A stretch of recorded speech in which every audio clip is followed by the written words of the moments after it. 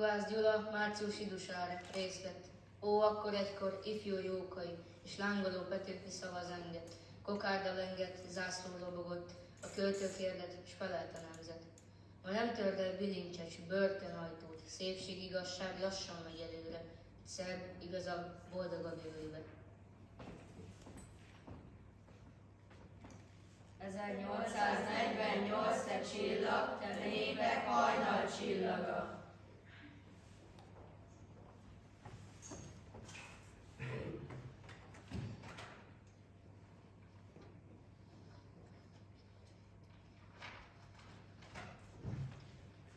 A 19. század a forradalmak százada. 1848. februárjában Párizsban kitört a forradalom. A francia nép elűzte a gyűlölt királyt, Lajos Fülöpöt, és kikiáltotta a köztársaságot. A hír egész Európában nyugtalanságot okozott. A nyugtalanság elérte Magyarországot is. Petőfi Sándor, kemény szél fúj, kemény szél fúj, lángra kap a szikra, vigyázzatok a házaitokra, hát ha mire a nap leanyatlik, tűzben állom már tetőtől talpig. Bár Párizs messze van, és a franciaországi viszonyok sem azonosak a magyarral. A forradalom híre március 1-ére Pozsonyba érkezett és felkavarta a rendet. Zúg Március záporos fényben, suhog a zászlós tűz a vérben. Pozsonyban ekkor a rendi országgyűlés ülésezett. Itt fogalmazta meg Kossuth a magyarok fő követeléseit.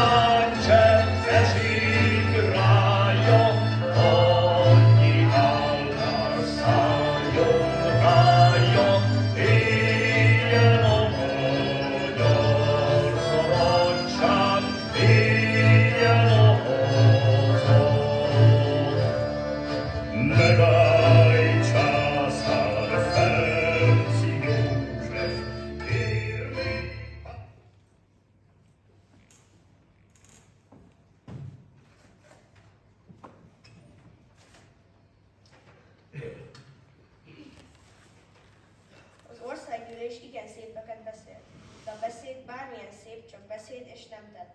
Egy ülésben indítványoztatott, hogy a 12 pont petícióképpen benyújtsák a királynak, mégpedig rögtön. Mit kíván a magyar nemzet? Legyen béke, szabadság és egyetértés.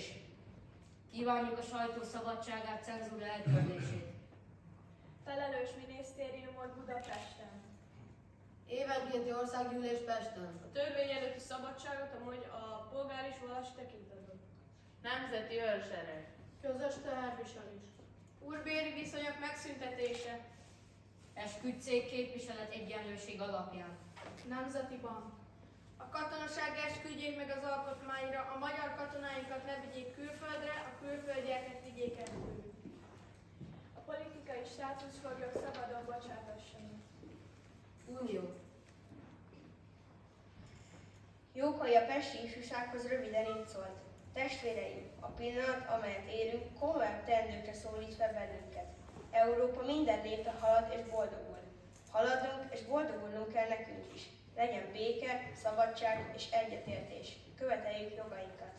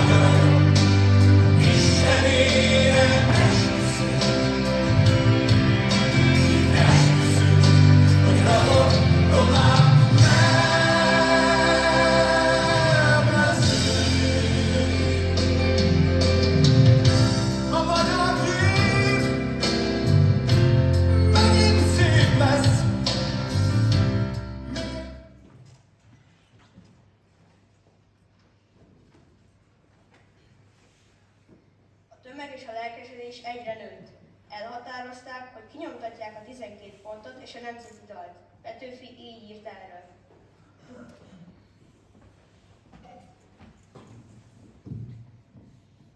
Körülnéztem, hogy az arcokat megvizsgáljam, de egy ilyet arcot sem láttam. Minden ajkon kiáltás. Petőfi Sándor napunk. Fegyver, fegyver. Budára, Budára, a helytartó tanácshoz. Nyitassuk meg Táncsics börtönét!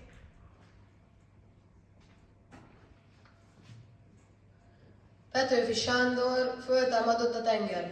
Föltámadott a tenger, a népek tengere, ijesztve eget földet, szilaj hullámokat vet rémítő ereje. Látjátok ezt a táncot, halljátok a zenét, akik még nem tudtátok, most megtanulhatjátok, hogyan mulat a nép. Reng és üvölt a tenger, hánykodnak a hajók, süllyednek a pokolra, az árbózis vitorla megtörve tépve lóg. Tombolt ki te özönvíz, tombolt ki magadat, mutasd mélységes medred, s dobáld a felelkre bőszült tajtékodat. Hegye- Jegyezd az égre örök tanulságul, ha bár fölül a gályas, alul a víznek árja, azért a víz az úr. Ma született a magyar szabadság, mert ma esett a sajtóról a bilincs. Vagy van olyan egy aki azt képzel, hogy szabad sajtó nélkül lehet bármely nemzetnek szabadsága? Petőfi Sándor egy gondolat bánt. Ha majd minden rabszolga nép jármát megunva síkra lép, piros arc és piros zászlókkal, és a zászlókon emeszent jelszóval. Virágszabadság, s ezt elharsogják, s ezt elharsogják kelettől nyugatig. S a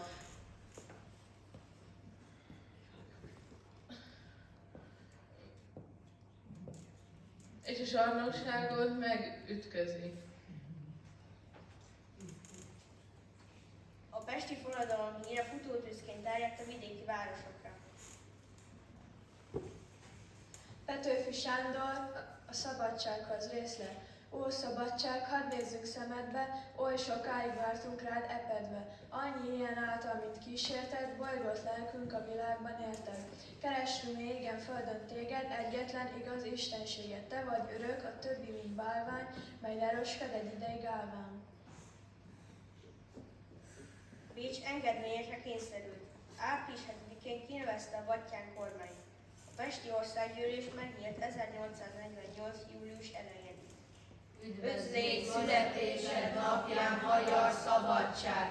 Először is én üdvözöllek, ki imádkoztam és küzdöttem éretted.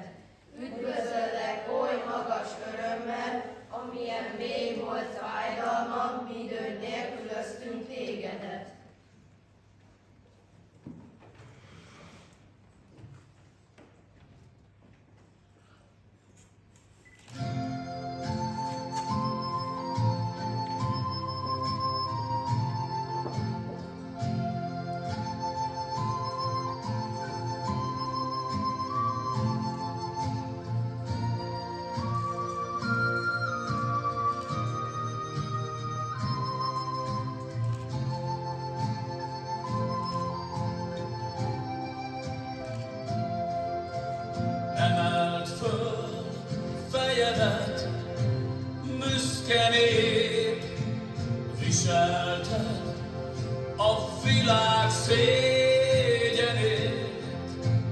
Emelkedj magasba, kis haza,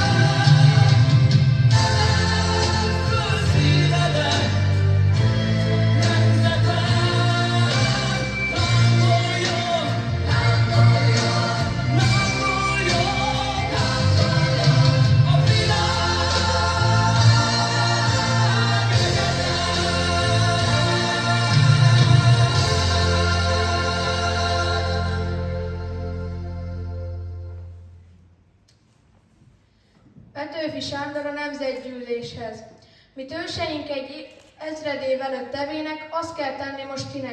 Bármi erővel, bármi áldozattal, bár mindegy szálig elvesztek belé, hazát kell nektek is teremteni, egy új hazát, mely szebb a réginél.